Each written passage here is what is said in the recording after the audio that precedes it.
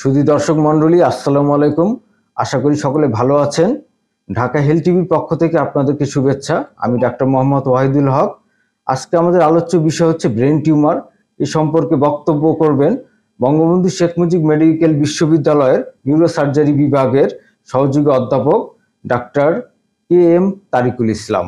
আশা করি সবাই উপকৃত হবেন। আচ্ছা স্যার ব্রেন টিউমার বলতে কি বোঝায়?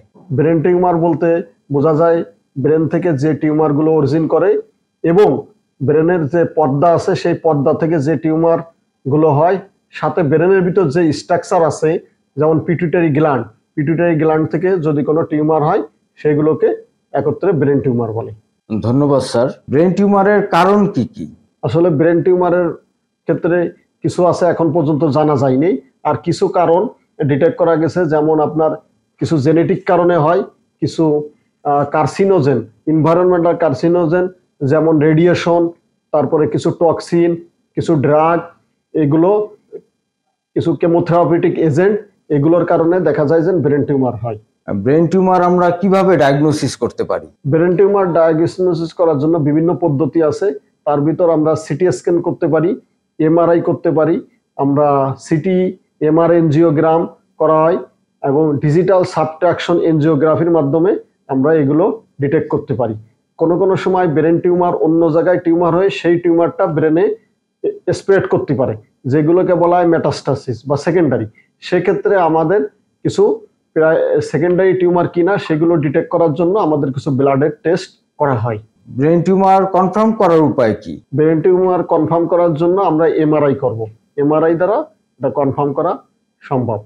এবং সঙ্গে আমরা ওই যে মাংস পরীক্ষা করি যেটাকে বায়োপসি বলা হয় এটা আমরা হিস্টোপ্যাথোলজিক্যাল এক্সামিনেশন করে এটাকে আমাদের এমআরআই তে যে ডায়াগনোসিসটা হয় সেটাকে কনফার্ম করা হয়। ব্রেন টিউমার মাথার কোন অংশে বেশি হয়?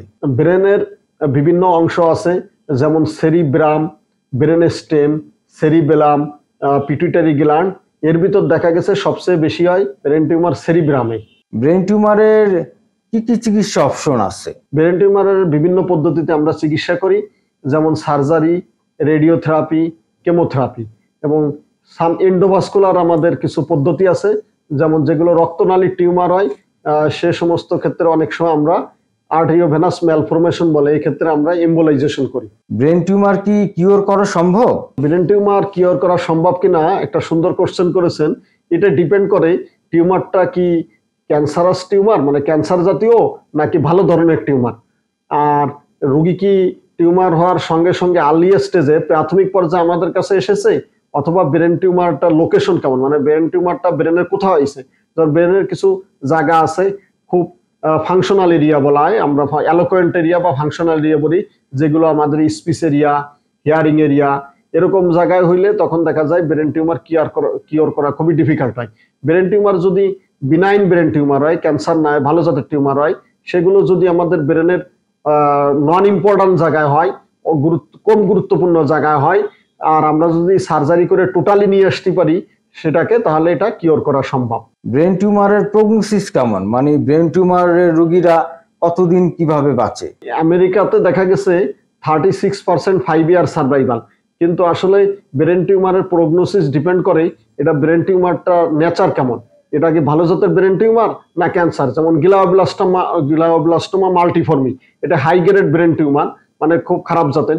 সেই ক্ষেত্রে দেখা যায় যে one one year five six months to one year five year survival six month to one year survival ম্যাক্সিমামের ক্ষেত্রে এই যেগুলো ক্যান্সার আছে, যেগুলো বিনাইন সেগুলোর ক্ষেত্রে দেখা যায় গেলে আমার লো গ্রেড যেটা, সেটা দেখা যায় টেন ইয়ার পর্যন্ত সার্ভাইভাল আছে।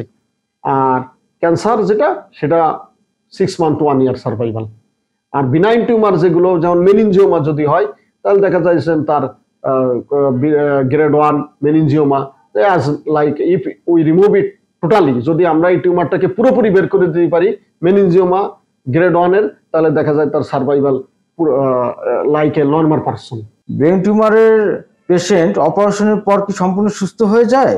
নাকি কোনো রিস্ক আছে। আহ, রুগীকে ব্রেন টিউমার অপারেশন করলে বাঁচানোটা ওই আমি সেই পূর্বের কোশ্চেনের কাছাকাছি এই কোশ্চেনটারও মিল আছে। বাঁচানো সম্ভব যদি রুগী কোন ধরনের টিউমার নিয়ে আসছে এবং কখন আমাদের কাছে আসছে তার উপর ডিপেন্ড করবে। যদি ভালো জাতের টিউমার নিয়ে আসে আর্লি স্টেজে আসে যদি কোনো সাইড ইয়া এফেক্টেড না হয় তাহলে তাকে বাঁচানো সম্ভব। ঠিকমতো আমরা যদি চিকিৎসা করতে পারি যে সমস্ত চিকিৎসা তার জন্য প্রযোজ্য সেই চিকিৎসা যদি উনি অ্যাকসেপ্ট করে গ্রহণ করে তাহলে আমরা তাকে বাঁচাতে পারব। আল্লাহ তালার অশেষ সহমতে ব্রেন টিউমার কি প্রিভেনশন করা যায় বা প্রতিরোধ করা যায়? হ্যাঁ ব্রেন টিউমার পুরোপুরি সব ব্রেন টিউমার তো কারণ জানা যায় নাই। কিছু কিছু ব্রেন টিউমারের কিছু কিছু কারণ জানা গেছে। সেগুলো যদি আমরা প্রিভেনশন করার জন্য সেগুলো আমাদের মেনে চলতে হবে। যেমন আমাদের স্ট্রেস কন্ডিশনকে অ্যাভয়েড করতে হবে। লাইফ স্টাইলটাকে আমাদের ঠিক করতে হবে হেলদি লাইফ স্টাইল ইয়া করতে হবে হেলদি ফুড আমাদের একসেপ্ট গ্রহণ করতে হবে। সঙ্গে যে কার্সিনোজেনিক যে এজেন্ট আছে ইনভায়রনমেন্টে যেমন রেডিয়েশন কেমো ক্যান্সারাস ড্রাগ তারপরে এনভায়রনমেন্টের পলিউশন এক্সপোজার এগুলো যদি আমরা অ্যাভয়েড করতে পারি তাহলে প্রিভেনশন করা সম্ভব। কিছুটা প্রিভেনশন করা সম্ভব হান্ড্রেড পার্সেন্ট সম্ভব না হলেও। আমাদের দেশে ব্রেন টিউমারের কি কি চিকিৎসা আছে?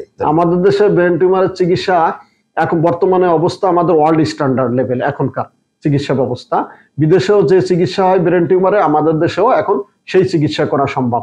সেই মডার্ন টেকনোলজি আমাদের দেশে এখন অনেক সেন্টারে অ্যাভেলেবল আছে, সেগুলো ইউজ করে আমরা ওয়ার্ল্ড স্ট্যান্ডার্ড চিকিৎসা এখন দিতে পারি। ধন্যবাদ, স্যার। তো স্যারকে অসংখ্য ধন্যবাদ আমাদেরকে সময় দেওয়ার জন্য। শুধু দর্শক মন্ডলী সকলে ভালো থাকবেন। আসসালামু আলাইকুম।